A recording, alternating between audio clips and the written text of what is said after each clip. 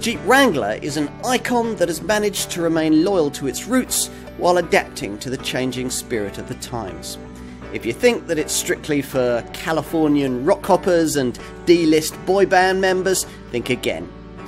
This latest JL series model is the most credible Wrangler yet, justifying what Jeep sees as its position as the only true off road company in the market.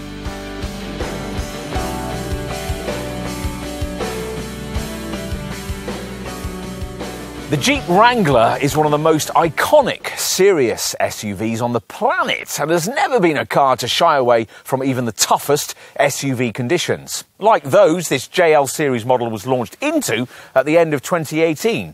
By then, the European market had decided what a fashionable SUV should be like, and it wasn't anything remotely resembling this. But the Wrangler's always gone its own way, and for the few who want something more authentic, its appeal remains very much unique. A bit of history first. Shortly after the surface of the Earth cooled, vertebrates appeared, developed into dinosaurs, and then died for reasons still not fully understood. Shortly thereafter, the original version of this model was first built, or perhaps it just seems like that. Actually, it was in 1938 when the US government's brief for a light reconnaissance vehicle resulted in the development of the Willys Jeep and the subsequent production of 368,000 of them for use during World War II. General George C. Marshall described it as America's greatest contribution to modern warfare. As most now know, the spiritual successor to the Willys Jeep is today's Jeep Wrangler. Much separates the two designs, of course. What's ideal for a theatre of war doesn't necessarily work for a family trip to the cinema. And over the years remaining in the 20th century, through CJ, YJ, and TJ Wrangler models, as different company owners came and went, Jeep designers struggled with the need to develop this icon without losing its distinct appeal. Their biggest challenge came with this car's JK series predecessor, launched in 2007, which justified its existence in the modern SUV market with two Wrangler firsts four doors and diesel power. But that JK series model still didn't really reach out beyond this car's hardcore base of enthusiasts. This, its successor, needed to continue to please these people, as it does, with better off road angles, more ground clearance, and a tighter turning circle. But at the same time, today's Wrangler needed to offer slightly wider appeal. For that, brand owners Fiat Chrysler knew that a completely fresh generation of powertrains would be required. And areas like ride quality, refinement, and day to day usability would need to be completely re-evaluated, as they have been with this JL series car. It's a Wrangler, but perhaps not quite as you know it. Let's take a closer look.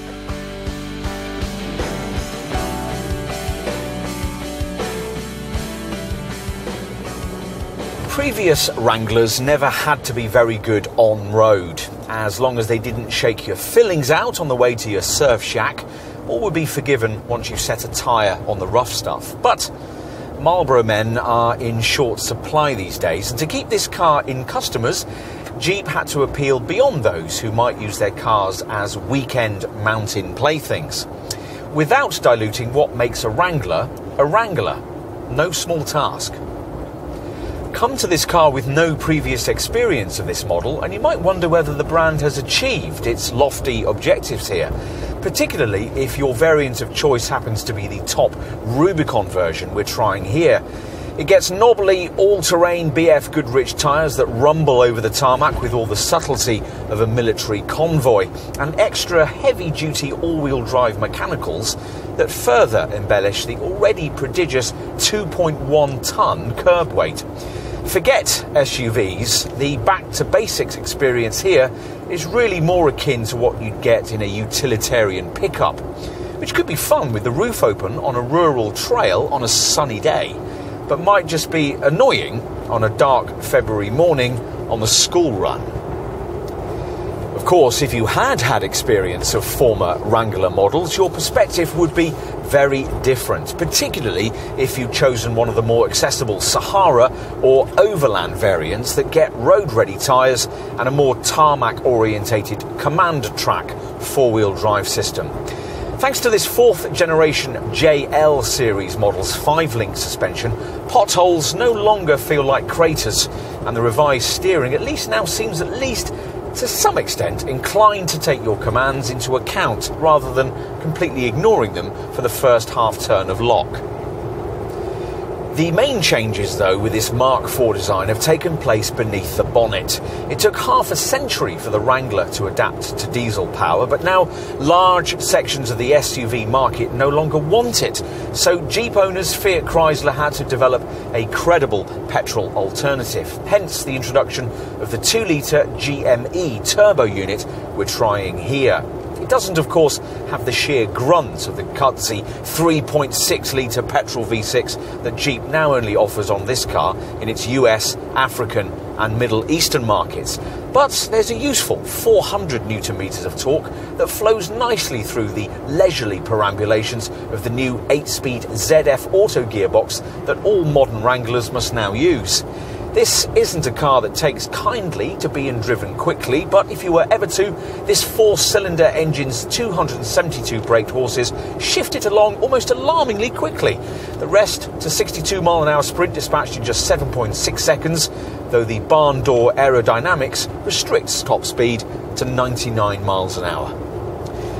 Having been offered diesel power for the first time in the previous JK series model, a sizable proportion of European Wrangler buyers will still require it, hence the provision of Fiat Chrysler's latest 2.2 litre Multijet 2 unit to replace the grumbly old 2.8 litre four cylinder power plant fitted before. Despite the smaller size of this engine, power and torque have both increased over what was previously available to 200 horsepower and 450 newton meters respectively which means in a diesel variant that 62 miles an hour takes 10.3 seconds from rest before once more the Wrangler runs out of puff just sort of a three figure maximum. Whatever your preference on engine, there's a two and a half ton braked towing capacity, at least for this four door body style anyway. The alternative classic two door version can tug along just one and a half tons none of which is especially relevant to what this car has been primarily designed to do, namely drive to places you'd think twice about walking to without a backpack full of mountain climbing equipment. If the designers had democratised this JL series model to the point where it was no longer capable of such extreme feats, the whole point of Wrangler motoring would have been lost. So enthusiasts have been reassured that all versions of this fourth generation design continue to merit what the brand calls trail rated status. In fact, they've improved on it with better off road angles, a tighter 10.4 metre turning circle, and more ground clearance, so greater wading capacity. As with all proper off-roaders, there's a two-speed transfer case offering a series of dedicated 4x4 driving settings, proper mechanical ones, rather than the mere traction system software tweaks that masquerade as off-road modes in most modern SUVs. It's appropriate then that you access them not through buttons, but the old-fashioned way with a second gear lever that requires a very firm tug. This setup's first option lies in allowing you to shift from the default 2H rear driven setting to 4H auto, which can now be done at speeds of up to 47 miles an hour and which gives you on demand high range four wheel drive.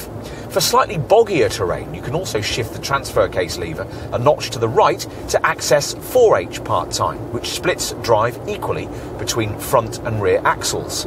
For more serious terrain, your final option is 4 low which designates four wheel drive low range, at which point, in a Sahara or Overland variant, equipped with the Command Track four wheel drive system, a 2.72 to 1 crawl ratio will be engaged.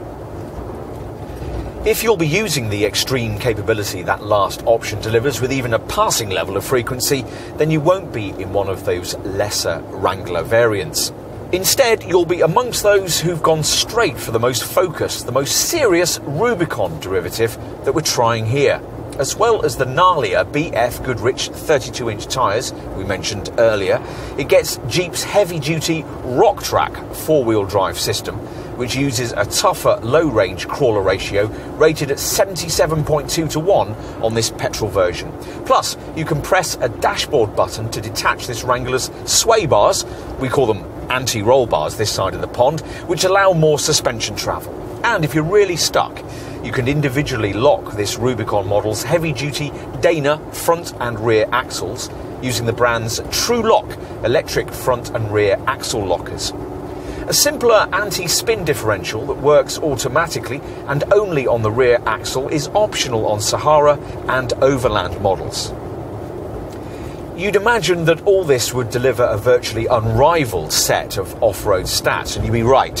Helped by 252mm of ground clearance, this four door Rubicon model offers an approach angle of 36 degrees, a departure angle of 31.4 degrees, and a breakover angle of up to 20.8 degrees, with all three figures fractionally improved upon by the two door body style. You oversee all this from a superbly commanding driving position, and you can monitor it all in real time via a series of selectable off road pages on the centre dash Uconnect screen that deliver drivetrain data, a range of accessory gauges, and virtual dials that show your Jeep's state of pitch and roll.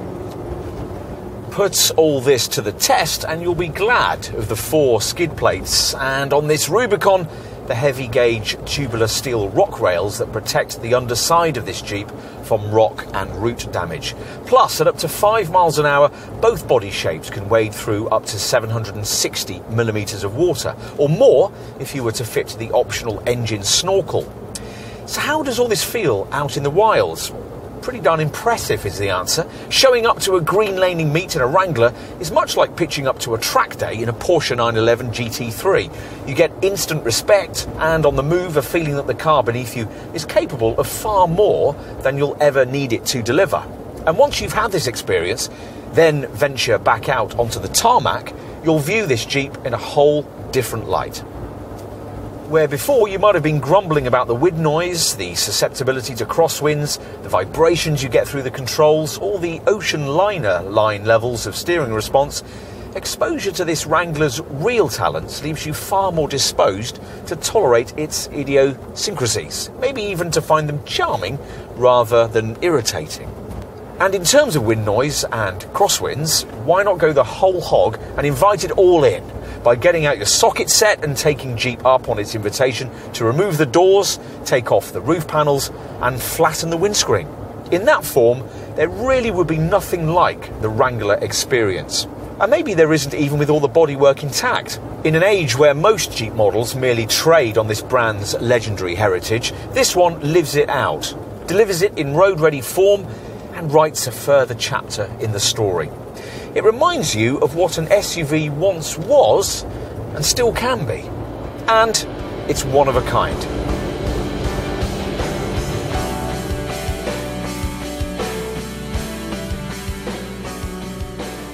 The Wrangler format is iconic. A simple boxy body dropped onto an old style ladder frame chassis with a folding screen, detachable doors, and a removable roof. You don't mess with that. Or with the familiar frontage, which offers up the usual circular headlights and familiar seven slot grille. Elsewhere around the car, all the usual Wrangler hallmarks are present and correct. The separate bumpers, the outboard spare wheel, and extended wheel arches flared at angles similar to those of the original Willys Jeep.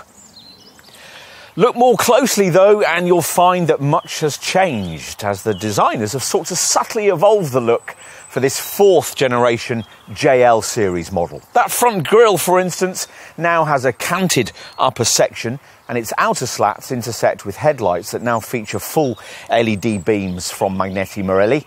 Even this vertical windscreen is different. It's now not quite so vertical and features a new four bolt design at the top of the frame that allows it to fold down far more easily. Though you've still got to get your socket set out to do it. That feature, by the way, was built into original Willys Jeeps to make them stackable for easy wartime shipping. The military style bonnet that also reminds you of that era features twin vents and chunky exposed catches. Daytime running lights now sit on the front of the trapezoidal wheel flares, and as before, fog lights are embedded deep into each corner of the chunky bumper.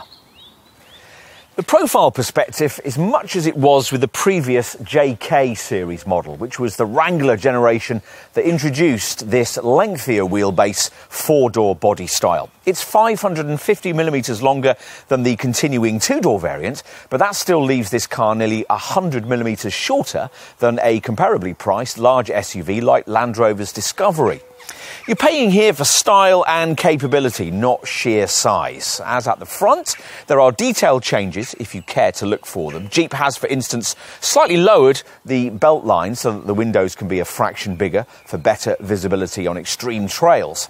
And these huge black flared arches, embellished at the front with pretend vents house 17 inch polished alloy wheels clad with 32 inch BF Goodrich mud terrain tyres on this Rubicon model. You'd get 18 inch rims and more road orientated rubber if you were to opt for either Sahara or Overland trim. Traditional touches include exposed bolts and even an old style coat hanger style retracting aerial. Earlier, we mentioned the removable doors, now with corner shaping slightly altered so that they're less likely to be crashed into obstacles when being opened on sharp slopes. Detaching them is apparently a little easier this time round because they're now fashioned from lightweight, high strength aluminium. You'll still need a spanner set for the job though. Uh, Jeep has helpfully stamped the Torx bit tool size you'll need for the job on each of the prominent hinges. Let's move to the rear. Now, if you know your Wranglers, then the most obvious change will be these more stylised tail lamps, plus perhaps the installation of corner reflectors into this smarter bumper. More important, though, is the designer's decision to lower this spare wheel by 300mm to improve visibility for both driver and passengers. As for the stuff you can't see, well, you won't be surprised to hear that serious structural strength means serious weight. Think 2.1 tonnes at the curb.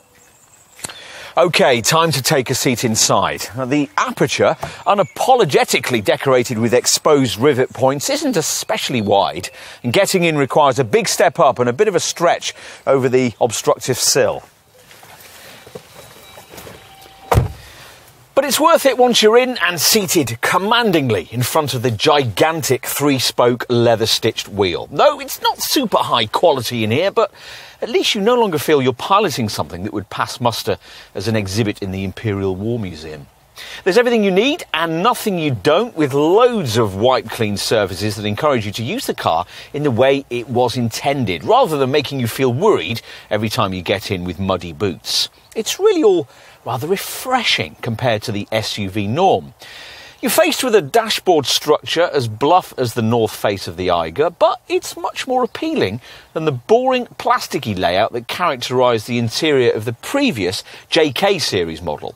The coloured fascia frontage, offered in grey, red, or silver, aims to reference the metal panelled dashboards used in much earlier Wranglers, and the previous tightly sectioned centre stack has given way to a more open layout, though one absolutely festooned with knobs and buttons. We should talk about the open air aspect. All Wranglers come as standard with a three piece modular hardtop. Jeep calls it a freedom top. That sort of thing was also fitted to the previous generation model, but the panels were so heavy and fiddly to remove that most owners hardly ever bothered to open them up. That'll change this time round because the ones at the front are much lighter and much easier to detach. You just unclip all these little catches and lift out these two front sections. They store away in tailored bags in the boot. Now, because the rear view mirror's connected to this header bar, its positioning isn't affected. The rear part of the roof, all the way back to the tailgate, can also be removed in a single hit, but unfortunately, that's a far more difficult process, requiring the removal of bolts on the lower edge of the window line on either side of the cargo area. But once you've done that, You'd need two people to lift the panel work off, and then, of course, you'd need to find somewhere to put the thing. In short, if all you're ever likely to do is want sunroof style open air access at the front, the Freedom Top arrangement will be fine. But if you really want to regularly be able to experience the full Willys Jeep style open air Wrangler feeling, then you're probably going to want to consider paying extra for one of the alternative roof packages the brand is offering this time round that replace the detachable panels with various forms of fabric hood. On the two door variant, this takes the form of a manually operable premium soft top covering the whole of the roof and available with either clear or tinted windows. On this four door version, you can have what the company calls a black Sunrider soft top that slots in behind the two removable Freedom Top panels. These available either in black or body colour. The Sunrider hood folds back manually like the roof on a Mazda MX5, or even better, you can have it specified in Sky One Touch Power Top form with electrical operation. With the roof fully down, the doors removed, and the windscreen folded, the Wrangler driving experience really is like nothing else. As we were suggesting earlier, the cabin design's like nothing else either. In a Wrangler, you've always known exactly what you were sitting in. In a Wrangler that's twice as expensive as its predecessor, though, something more than quirkiness is required to steal stares in the showroom. And with this fourth generation model, Jeep's obviously been very conscious of the importance of providing it. The need to retain the possibility for active owners to be able to hose out the cabin prevented the fixtures and fittings from being overly luxurious, but there are still plenty of premium touches like the leather stitched upper dash trimming, the ambient LED interior lighting, the rubber overmouldings across many of the touch points, and the platinum chromed bezels for the four central vents. Plus, there are soft touch vinyl wrapped door panels with proper armrests and full leather upholstery for the Overland and Rubicon models, as well as heat for the steering wheel and for seats that feature standard lumbar support. It's all slightly undermined, though, by the polystyrene type finish that decorates the inside of the roof panels. An optional hardtop headliner smartens this up a bit.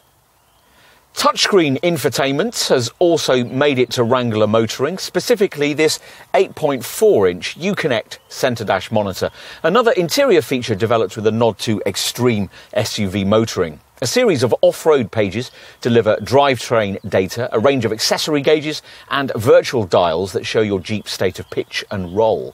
That's in addition, of course, to the usual vehicle information, audio and navigational readouts. Plus, there's Apple CarPlay and Android Auto smartphone mirroring too. For best use of this infotainment setup, you'll want to download the compatible Uconnect Live app onto your smartphone that'll allow you to customize your onboard entertainment, accessing internet radio, online music, and social media.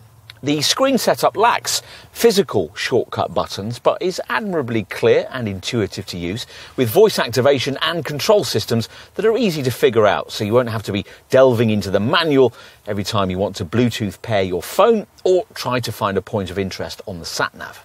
There's voice control, pinch and swipe functionality for the colour screen, and a text to talk feature if you need it.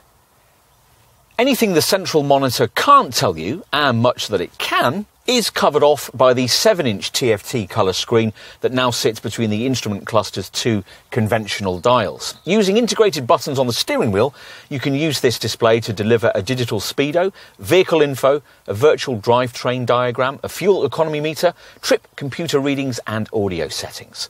Of course, not all the changes are welcome. The new push button starter, for instance, is somewhat obscured, and you often find yourself mistakenly pushing the more accessible circular audio button that lies nearby. And these netted storage pockets added onto the bottom of the doors are almost useless. Plus, in a right hand drive model like this, you have to awkwardly reach right across the cup holders to get to the handbrake.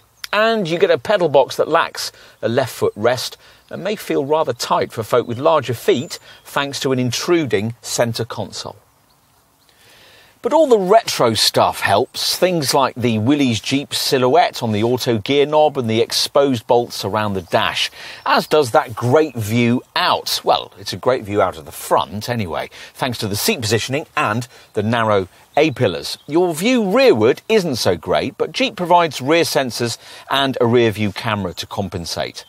Practical touches include a narrow, deep, lockable glove box with a chunky grab handle just above, and a spacious illuminated storage area between the seats with a lift up top tray and a USB port. There are more USB ports and an aux in point lower down the centre stack. Plus, the twin cup holders we mentioned earlier are lit at night.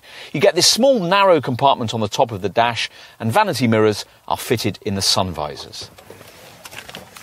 Let's take a seat in the rear. Now, this four door model's extra half metre of length might make possible a properly sized rear seat, but it doesn't deliver doors that open with a very wide aperture. And once you're inside, it's not hugely comfortable either, though it's obviously a huge improvement on the cramped conditions you'd get in the alternative two door model. We thought legroom might be an issue here, but actually, we think you get more complaints about the rather upright backrests for occupants on a longer trip. Predictably, there isn't really room for three adults back here, but this low centre transmission tunnel means that three children would fit okay. Those kids will be pleased to find twin USB ports and reading lights built into the exposed body structure that also rather neatly house these speakers for the Alpine audio system. There are netted storage pockets in the seat backs, so we're not quite sure what you're supposed to store in these curious ribbed panels just above. In addition, there are chunky grab handles and cubbies built into the door pulls, plus you get a fold down centre armrest with twin cup holders. As for storage, well, the netted door pockets might be useful for slim items, but these shallow compartments on top of the transmission tunnel are almost useless, as is the narrow storage area that lies above. Still, if your driver has removed the doors and you're travelling al fresco, open to the elements, you won't care about any of that. Travelling in the back on an SUV isn't usually an experience to be in any way savoured, but in a Wrangler, it can be. Let's finish with a look at the boot. Now, if you're wondering why Jeep's two door and four door Wrangler model badging doesn't include reference to a tailgate, it's pretty obvious once you get here because there isn't one. Just these pull out lower and upper panels accessed by a chunky vertically set handle, which have the annoyance of being side opening. To be fair, that kind of arrangement doesn't seem to bother Toyota Land Cruiser customers very much, but because the setup's split here, it's slightly more awkward. You have to keep remembering, for instance, that you can't close the upper glass part while the lower section's in place. Once everything's opened up, there's a 533 litre boot, which ought to be bigger, but can't be because it's compromised by the tubular structural beams and the siting of this huge audio speaker on the right hand side here. Six tie down points are provided, and there's a useful extra stowage beneath the boot floor, plus a 12 volt point on the left hand side. An optional tailgate table can fold out of the lower part of the rear door. And here's a nice touch. In this little panel in the loading sill, you'll find little bespoke holes to store all the bolts you'd otherwise have rolling about all over the place after removal of the windscreen and the doors. There's no ski hatch or 40 20 40 rear seat split for longer items, so if you need more room, you'll need to push forward the 60 40 split rear seats. That frees up 1,044 litres of space. Surf Shack dwellers will be disappointed to find that there's no option for a fold flat front passenger seat, which would be particularly useful on the two door model. For the record, this variant offers a 197 litre boot, smaller than that of a VW Up city car, extendable to 587 litres if you drop the rear bench.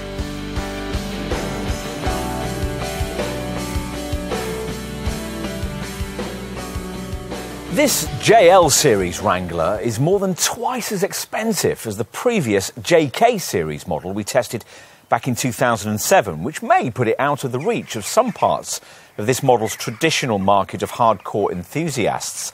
Hence the need to widen the brief this time round to include fashionistas as well as adventurers. Those are, after all, the people most likely to afford a top variant like the one we have here, costing nearly £50,000. Let's get specific. There are, as before, two basic types of Wrangler the classic two door version, or for £2,000 more, the four door variant tested here, which is the one most buyers will choose. Prices actually start from around £45,000, which seems a lot when you consider that the starting sticker price of a Wrangler in the US is the equivalent of around £20,000. But to be fair, that's for a base spec sport variant, a trim level that isn't offered here. For our market, the spec options start with Sahara trim, but most buyers will want to find £2,000 more to get either an overland model or buy into the most serious Rubicon spec we're trying here. Under the bonnet, customers are offered a choice of a couple of identically priced engine options, both of which must be mated to 8 speed automatic transmission. Choose either a 2.2 litre Multijet 2 diesel with 200 horsepower, or as in this case, a 2 litre GME petrol turbo unit with 272 horsepower. Sadly, Europe isn't being offered the gutsy 3.6 litre Pentastar petrol V6 that's available on this car in African and Middle Eastern markets. As for spec levels, well, you'd probably choose either Sahara or Overland trim if you were planning to do a fair amount of tarmac work with your Wrangler. Both these variants are properly trail rated in Jeep terminology, with a proper two speed transfer case that gives a lower range crawler gear. But they're fitted with more road orientated tyres and use the brand's slightly less extreme command track four wheel drive setup. For true Wrangler aficionados, though, only this ultimate Rubicon variant will do. It gets the more serious Rock-Trac four wheel drive system, which uses a tougher low range gear ratio, heavy duty front and rear axles, and Tru-Lok electric front and rear axle lockers to tackle really extreme off road trails. Also helping a Wrangler Rubicon in dealing with this type of terrain are the 32 inch BF Goodrich mud terrain tyres and an electronic front sway bar disconnect system to provide additional wheel travel when conditions call for it. Enough with the range structure. Where does this Wrangler sit in today's very different SUV market? Well, if you're asking us about competitors, there are none. Or perhaps there are any number. It all depends on how you view things. This Jeep's newly exalted asking price theoretically pitches it against cars like a base four cylinder petrol or diesel Land Rover Discovery, which would cost almost exactly the same, seat up to seven, and which would be a far easier thing to live with. But that Solihull model couldn't get close to matching a Wrangler in the rough, nor does it have this Jeep's extreme Explorer image. Not much else does. The Land Rover Defender is a much closer match. The new generation version hasn't been released at the time of this test in spring 2019, though had been much widely previewed. But that car's appeal is a very individual one. If you like it, you won't want this Wrangler, and vice versa. And otherwise, well, we could talk all day about fashionable large and mid-sized SUVs priced in the 45 to 55,000 pound bracket, but none of them will please you if you really appreciate what this Jeep has to offer. A mid-spec Toyota Land Cruiser probably gets closest, but that comes only in diesel form with a significantly less powerful engine and can't be had in high-spec short wheelbase form. Other than that, a high spec pickup, say a Mercedes X Class, probably gets nearest to what this Wrangler has to offer. But that then takes you into the LCV market. And in any case, Jeep now has its own entrant in that segment, the Gladiator. So, if you want a pickup, the American brand thinks you'd be more likely to choose one of those. Overall, it's difficult to escape the conclusion that there's nothing quite like a Wrangler. It offers the kind of SUV recipe that if you were buying in the 15 to 20,000 pound bracket would see you choose a Suzuki Jimny and if you were spending 95 to 100,000 pounds would see you buying a Mercedes G-Class or if you were in America something like a Hummer. This Jeep, like those cars, simply laughs at its hopelessly compromised mainstream SUV competitors and leaves them for dead when the road, the trail, or the track turns gnarly. On top of that, try finding another capable SUV that comes with a detachable roof. Enough with the comparisons. Let's say you've decided on a Wrangler. Can Jeep justify those premium asking prices with premium levels of equipment? Well, let's see. We've just referenced the fact that all Wranglers get the potential for open air motoring, given the standard fitment of what Jeep calls a Freedom Top, a three piece modular hardtop with two lift off front sections and a rear part you can remove with a socket set. Plus, as ever with a Wrangler, if you're handy with the spanner, you can take off the doors for a really uninhibited feel and even fold forward the windscreen to give you more fresh air in the face or maybe just a clearer view of the trail ahead. Now, what other modern production car offers either of those things? There isn't one. On to specific trim related spec features, starting with the base Sahara spec models. These come with 18 inch polished wheels with grey spokes, full LED headlamps, and the rear parking sensors and rear view camera you'll need given the restricted rearward visibility. There's also keyless entry, tubular side steps, and a body coloured Freedom top, a three piece modular hard top. Other exterior features include deep tint sunscreen glass, a vinyl spare wheel cover, also headlights with headlamp levelling, power heated mirrors, front fog lamps, and a premium security alarm. Inside, a Wrangler Sahara variant comes with climate control, a six way adjustable driver's seat with lumbar support, ambient LED interior lighting, a leather wrapped steering wheel and gear knob, an auto dipping rear view mirror, cruise control, an active speed limiting device, and a 7 inch TFT instrument cluster display screen. Plus, infotainment is covered off to a level that previous generation Wrangler owners would be amazed at. There's an 8.4 inch centre dash Uconnect monitor, your access point for navigation, an eight speaker Alpine premium audio system, Apple CarPlay and Android Auto smartphone mirroring, and a range of Uconnect Live services.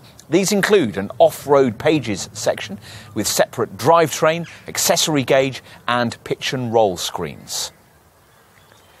For best use of this infotainment setup, you'll want to download the compatible Uconnect Live app onto your smartphone that'll allow you to customize your onboard entertainment. You'll receive updates on your vehicle status and have all information relating to your journey brought to you in real time. There's also Tune In Internet, a web radio with more than 10,000 stations from around the world. Plus, you can use the Deezer internet music platform containing over 35 million tracks.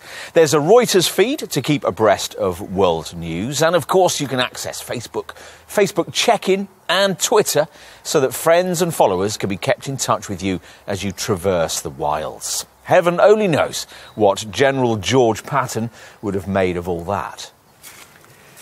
As mentioned earlier, if you want more, there are two trim choices Overland or this Rubicon trim. Both are identically priced and both include leather upholstery and heat for the front seats and steering wheel. If your destination is the King's Road rather than Kilimanjaro, you'll prefer one of the exclusive to Europe Overland spec models with their emphasis on looks and luxury. Hence the 18 inch polished aluminium wheels, the silver accents on the door mirrors and the front grille, and the hard top headliner, plus blind spot monitoring and rear cross path detection. You could be excused, though, for questioning why you'd really ever want any more luxury in a Wrangler than the base Sahara variants can already offer. So many other conventional SUVs will cosset you more for this kind of money, but none of them can quite get you to the destinations that a Wrangler could manage to reach, especially in this top Rubicon form. Go with this most capable level of spec, and your Jeep will come with all the extreme four wheel drive hardware we mentioned earlier, plus a heavy duty 240 amp alternator, an uprated 700 amp maintenance free battery, and an auxiliary switch bank. In addition, Rubicon variants get black fender flares, rock rails for extra underbody protection, and slightly smaller 17 inch polished aluminium wheels with black pockets that look better suited to life in the wilds.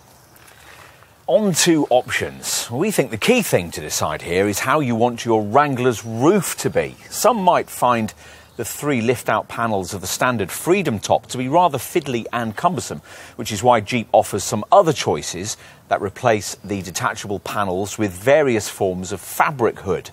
On the two door variant, this takes the form of a manually operable premium soft top covering the whole of the roof and available with either clear or tinted windows. On this four door version, you can have what the company calls a black Sunrider soft top that slots in behind the two removable Freedom Top panels. These available either in black or body colour. The Sunrider hood folds back manually like the roof on a Mazda MX5, or even better, you can have it specified in Sky One Touch Power Top form with electrical operation.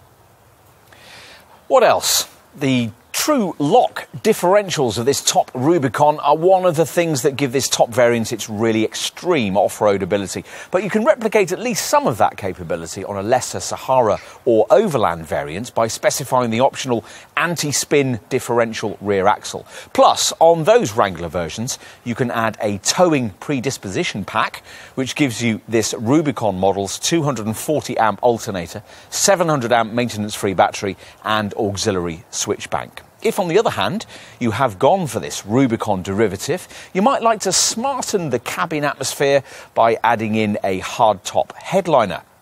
Rubicon buyers can also pay extra for 17 inch black aluminium wheels with polished rims. Across the range, it's almost certain that you'll be paying your Jeep dealer extra for your preferred choice of colour. The only shade that comes as standard is solid bright white. Otherwise, you'll be paying more for one of the optional pastel or metallic colours, nearly all of which are jauntily titled with names like Sting Grey, Mojito, and Punk'n Metallic. We've got bright Hella Yellow here. The exterior paint colour can also feature on the dash, but there are also silver and black leather wrapped options. As for the seats, well, whatever trim level you go for, you'll be offered upholstery finished either in black or brown heritage tan, whether that's cloth, as in the case of Sahara variants, or leather, as with the other derivatives. Beyond that, it's really a question of how far you want to go. Jeep's partner Mopar has created a range of 180 accessories for this JL series model. For instance, there's what the brand calls a mesh bikini sunbonnet, mesh fabric that goes over the roof area that's opened up when you remove the three piece modular hardtop, the bikini attachment shielding the cabin from excessive buffeting. If you want to wade deep rivers, you'll need the Jeep Performance Snorkel to stop water being ingested by the engine. And if you'll be attacking really serious mountain trails, you might want the heavy gauge steel rock rails. Plus, maybe also the lift kit, which increases wheel articulation. If you want to go on safari or perhaps just nighttime rabbit shooting, you might want to add the 5 inch off road spotlights that can sit on either side of the bonnet at the base of the windscreen. Once you get to your extreme destination, you might want to have the tailgate table that folds out of the rear door. And if you've loaded your Wrangler up with bulky camping gear, ideally you'll have protected the interior from damage with the optional moulded cargo tray. Mopar slush mats are also available to protect the carpets. There are rear moulded splash guards, you can fit extra grab handles, and there's a smoker's pack if you haven't yet kicked the habit. Visual embellishments you can add include a huge 1941 graphic for the bonnet, plus there are 1941 stripes that can extend down the sides of the car. You might also want a black finish for the front grille, the fuel door, the mirror covers, and the door sill plates. On to safety. Now, we've yet to see a Wrangler undergo a Euro NCAP crash test, which is perhaps just as well as autonomous braking hasn't made it to the Wrangler yet, nor have curtain airbags, though perhaps that's more understandable because of the detachable Freedom top. As you'd expect, there's ESC stability control and electronic roll mitigation. Plus, of course, there's traction control and ABS brakes with brake assist. As mentioned earlier, the Overland variants come with two extra safety features blind spot monitoring, which stops you from dangerously pulling out when there's a vehicle in your blind spot, and rear cross path detection, which alerts you to oncoming traffic when you're reversing out of a space. Both these features can be optioned into a Rubicon variant at extra cost.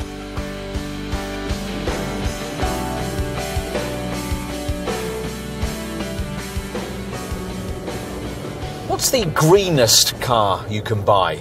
A Toyota Prius, a Nissan Leaf, or perhaps a Jeep Wrangler? And what's called a dust to dust calculation of a car's environmental impact from its creation to its ultimate destruction, you'd probably be shocked to learn that it's the Jeep, according to figures released by CNW Research in America. Think about it, and it makes sense. The proportion of energy and CO2 used to make a car is much higher than the amount it consumes in its life.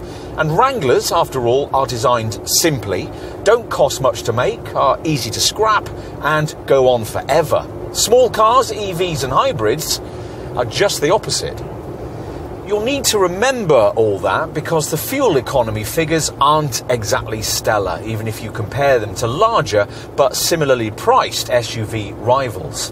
As you'd expect, the 2.2 litre diesel variant does best, aided by the multi-jet unit's sophisticated exhaust gas recirculation system and an underfloor SCR or selective catalytic reduction setup that reduces NOx emissions to negligible levels and ensures compliancy with the latest RDE Euro 6d efficiency standards. As for the figures, well, in four door Sahara form, a Wrangler diesel manages 36.7 mpg on the combined cycle and 202 grams per kilometre of CO2. You'll do a fraction worse than that with the heavier Rubicon variant, and obviously a fraction better with the lighter two door body style. To give you some class perspective, a rival Toyota Land Cruiser 5 door manages 38.1 mpg and 194 grams per kilometre, and a Land Rover Discovery SD4 manages 43.5 mpg and 171 grams per kilometre. Here we've chosen to try the 2 litre GME petrol turbo engine, a unit that the Fiat Chrysler Group has spent a great deal of money developing. This was the first power plant of its kind to combine use of a special CEGR cooled gas recirculation system with twin scroll turbo technology, central direct injection, and the independent liquid cooling intake of air, throttle body, and turbo. Hence, a set of efficiency returns that are actually pretty similar to those of the diesel model. So similar, in fact, that when combined with cheaper fuel, they would probably make this green pump fueled variant a little cheaper to run. Combined cycle economy is rated at 31.4 mpg in Sahara four door form, with a CO2 reading of 210 grams per kilometre, or 28.2 mpg and 213 grams per kilometre for this Rubicon version. That looks pretty good, given that a less capable rival petrol Land Rover Discovery SI4 returns 29.4 mpg and 222 grams per kilometre. All the Wrangler readings just given were measured on the old NEDC cycle. Expect them to fall quite a lot when the brand has to use more real world WLTP or World Harmonised Light Vehicle Test Procedure readings. By that time, though, Jeep will be offering petrol buyers a plug in hybrid option. It already offers an e Torque mild hybrid version of this 2 litre engine in the US market, but has no plans to bring that power plant here. Both units you can have are aided by an ESS engine stop start system, which cuts the engine when you don't need it, stuck in traffic, or waiting at the lights. And as a driver, you can do your part by keeping an eye on the fuel economy meter. That's one of the options provided by the instrument binnacle screen. What else might you need to know? Well, the CO2 figures quoted and the high purchase price will see the few company Wrangler users paying a hefty 37% benefit in kind tax and a £310 luxury car vehicle excise duty supplement, which means a total road tax outlay of £450 in the first six years of ownership. At least residual values should be strong. Industry experts CAP HPI reckon that after the standard three year or 60,000 mile period, a Wrangler Overland four door, two litre petrol variant would still be worth 41% of its original purchase price. These days, Jeep offers a much more competitive customer after sales package. The brand's 535 offer, which gives you a five year, 75,000 mile warranty, three years of servicing, and five years of roadside assistance. Talking of servicing, the petrol models need a garage visit every year or every 9,000 miles, whichever occurs soonest. For the diesel variants, it's every year or 12,500 miles.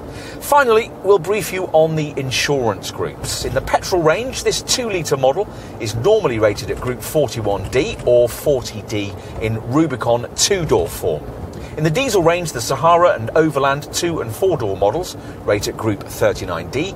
A two door Rubicon Multijet is Group 37D, while a four door Rubicon Multijet is Group 38D.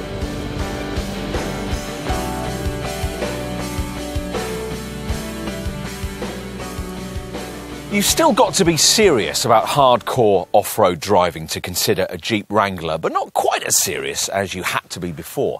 This JL series model offers considerable improvements in refinement, quality, and technology, which allows it to make a decent fist of providing versatile family transport for the user who doesn't mind making a few sacrifices at the altar of comfort, ride, and handling. It's got a style all of its own, but its heart and soul remain on the Rubicon Trail rather than on the King's Road. Thank goodness for that. Drive one of these, and it's clear that the Wranglers come a long way from the days of the old CJ and TJ series models, which tended to be driven by cigar chomping beefcakes in aviator sunglasses trying to live out their World War II fantasies. And we're quite sure that those kinds of people will find something to hate about this JL series design. But we couldn't. As with buying an extreme sports car, choosing one of these is a wholly emotive purchase that'll have very little basis in common sense. You'll want a Wrangler because it makes you smile, because it offers the prospect of opening up the wilderness, and because it makes you feel like the hero in your own action movie. We're disappointed that it's become so expensive and that given the money being asked, there isn't more standard safety kit. Otherwise, though, if you were to change most of the things a typical SUV buyer might dislike about this Jeep, you'd dilute its authenticity. And then there'd be no point to a Wrangler at all. Of course, it'd be a terrible choice if your SUV will have a heavy diet of on road work, but that's like criticising a supercar for having a small boot. Horses need to be matched with courses, and if just occasionally those will take you to the back of beyond, you'll be glad you chose a Wrangler for the trip. If previous generation versions of this Jeep weren't for you, you probably still won't like this one. No problem, the market's stacked with compromised alternatives. But if you've always wanted an excuse to choose one of these, this JL series model's extra polish and newfound sophistication provides it. It's now a vastly more capable all rounder, but it's still very much a Wrangler, and that's all that really matters.